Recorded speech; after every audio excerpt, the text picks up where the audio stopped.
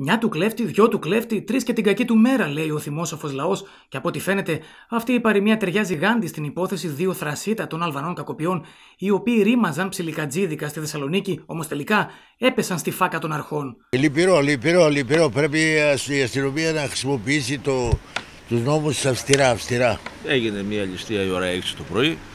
Το γεγονός ότι έγινε μια ληστεία στο κέντρο της Πολύχνης για πέμπτη-έκτη φορά, δεν ξέρω πόσες φορές είναι και η ώρα 6 το πρωί που κινείται κάποιος κόσμος, δείχνει ότι έχει ξεφύγει το πράγμα. Σημεία των καιρών, τι να κάνουμε, αυτά συμβαίνουν. Οι δύο άνδρες φέρεται να εμπλέκονται σε τουλάχιστον 12 ληστείες σε καταστήματα ψηλικών σε Άνω Πόλη, Τούμπα, Καλαμαριά, Σικές, Πολύχνη και Εύωσμο. Τελευταία μάλιστα ήταν η περίπτωση προλίγων ημερών όπου οι ληστές εισέβαλαν στο κατάστημα στην Πολύχνη και με την απειλή ενός φυριού κατόρθωσαν να ακινητοποιήσουν τον έντρομο υπάλληλο και να αφαιρέσουν από την ταμιακή μηχανή το ποσό των χιλίων ευρώ. Ανησυχία μόνο. Ανησυχία μόνο.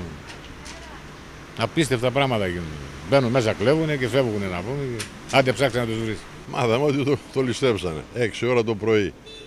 Αλλά κοίταξε να δεις, όταν υπάρχει ατιμορρησία, αυτά θα γίνονται κάθε μέρα. Κάθε μέρα. Σύμφωνα με την ελληνική αστυνομία, η ανάλυση του γεωγραφικού προφίλ, η αξιολόγηση, η αξιοποίηση του προανακριτικού υλικού, καθώς και η μελέτη του τρόπου δράσης εγκληματικών ομάδων που ενέχονται σε έκνομες ενέργειες, οδήγησε τους αστυνομικούς του Τμήματος Εγκλημάτων κατά ιδιοκτησίας της Διεύθυνσης Ασφάλειας Θεσσαλονίκης στην εξυχνίαση 12 περιπτώσεων ληστειών και στην ταυτοποίηση των δραστών τους. Όταν άλλο ληστεύει, σκοτώνει και πάει μέσα και την άλλη μέρα είναι όξο, τι περιμένεις; Τι περιμένεις, θα μην το ξανακάνουν.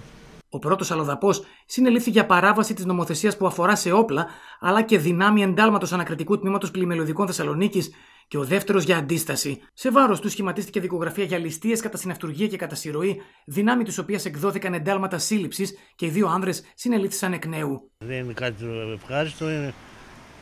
Μπορεί να γίνει και ατύχημα, μπορεί να γίνει και.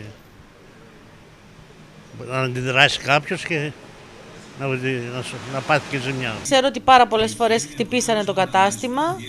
Ε, τι ακριβώς πήρανε και τέτοια δεν τα γνωρίζω, αλλά γενικά σε όλη τη γειτονιά επικρατεί μια ανασφάλεια. Αυτό. Έχουμε κρούσματα συνέχεια. σε κεντρικό δρόμο τώρα Σε κεντρικότατο δρόμο με μαγαζιά ανοιχτά μέχρι αργά το βράδυ. Να σημειωθεί ότι σχηματίστηκε δικογραφία για συνέργεια σε ληστείες σε βάρος δύο ακόμη ομοεθνών τους ηλικίας 37 και 27 ετών, ήδη κρατουμένων σε καταστήματα κράτησης για περιπτώσεις ανθρωποκτονίας και ληστείας αντίστοιχα.